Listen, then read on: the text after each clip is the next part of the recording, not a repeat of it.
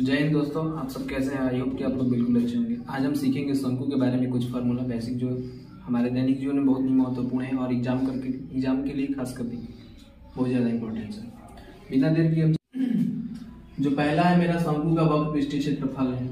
उसका फॉर्मूला क्या होता है? पाई आर एल पाई पाई का मतलब बाईस बटा सात आर का मतलब रेडियस एल का मतलब होता है लंबाई, ठीक है? तो ये कुछ है। और जो दूसरा है, शंकु का कुल पृष्ठीय क्षेत्रफल क्या होता है? Pi r into l plus r. शंकु का आयतन क्या होता है? One by three pi r square h. शंकु के सिन्नक का आयतन क्या होता है? One by three pi h into r one का स्क्वायर प्लस आर टू का square plus r one into r one plus r two. शंकु के छिन्नक का संपूर्ण पृष्ठीय क्षेत्रफल क्या होता है? Pi r into r one plus r two into pi r one square plus r two का स्क्वायर।